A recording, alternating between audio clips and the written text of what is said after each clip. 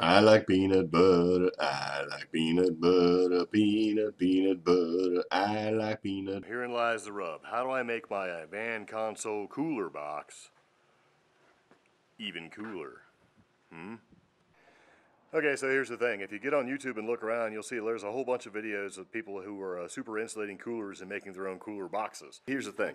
Herein lies the problem. This is what I have right here. This is the inside of my box. It's very, very nice. And I put the cooler in there and I have this sort of void area there with lots of space, about an inch. People will go out there and they buy these sheets of, uh, it's like styrofoam, and they cut them and they put them inside the cooler, which I think is a problem. This cooler right here, it's a nice cooler. There's not a lot of room in here. So if I was to actually use sheets of insulation up inside this thing, it would greatly reduce the amount of space I have to put good stuff like water and Gatorade and apples and stuff like that. So what I'm going to do is do something a little bit different. I'm going to use this stuff. I'm going to use the Great Stuff expanding foam to actually fill these voids that happen to be all the way around the cooler. So since I actually have roughly about an inch and a half on the two long sides, this side right here and that side, and about an inch on the left and right sides. Uh, if I get this thing centered right, I should be able to fill this box with the Great Stuff expanding foam. The only problem is I want to be able to remove the cooler. I don't want it to be stuck the whole time because the reason why I have this box is for convenience and having to take the entire box out of the van if it came down to it and dump the water out of it uh, out of the cooler if I put ice in there, that's not convenient. So I think what I'm going to do in order to fix my issue is use a tall kitchen bag to tie around the cooler. Protects the outside surfaces. If it really comes down to it and I screw it all up, I can remove the whole thing without wrecking this super sweet box that I made with my dad and my brother. Okay, so there you go. I've got the cooler protected by this plastic bag. It's thin enough uh, to where hopefully it'll keep the sticky, great stuff expanding foam off of it, but you know, be thin enough where I can peel it out if I want. So, but anyway, here's what I'm going to do. It's kind of hard to see. Check it out.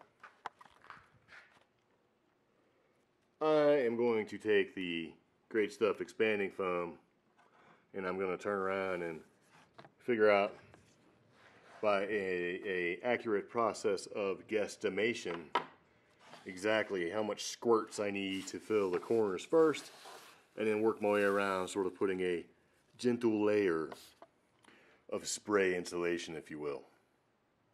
Yeah, so this is probably going to turn out awful. We'll see.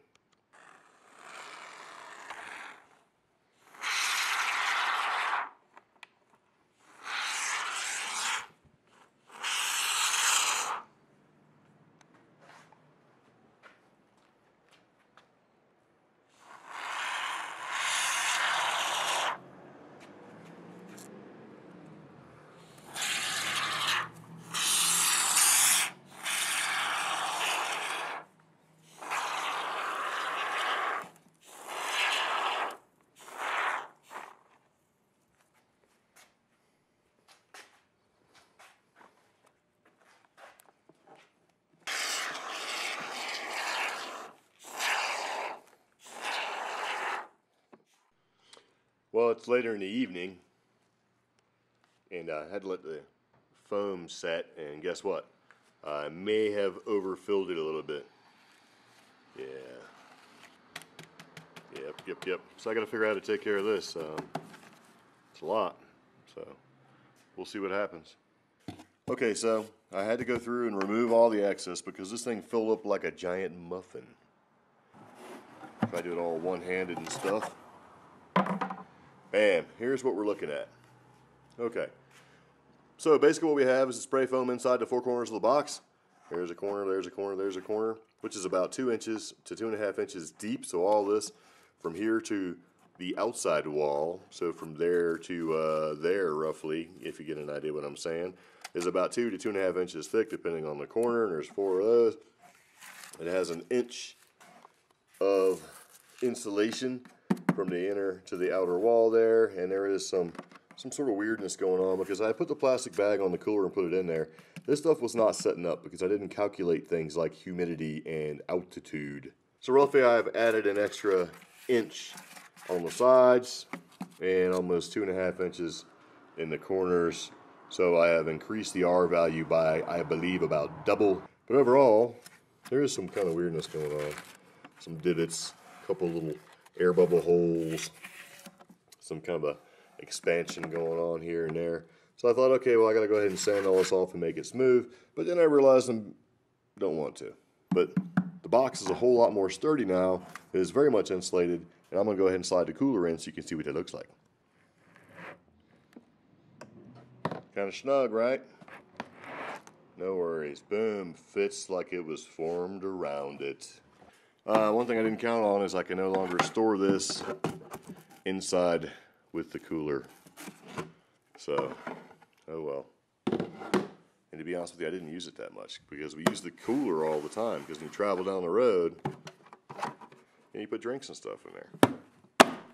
But yeah, good deal, man. I'm digging this. And I know that this will keep ice and stuff a lot cooler. It just makes sense. If you double up on the insulation, it's going to stay cooler a little bit longer.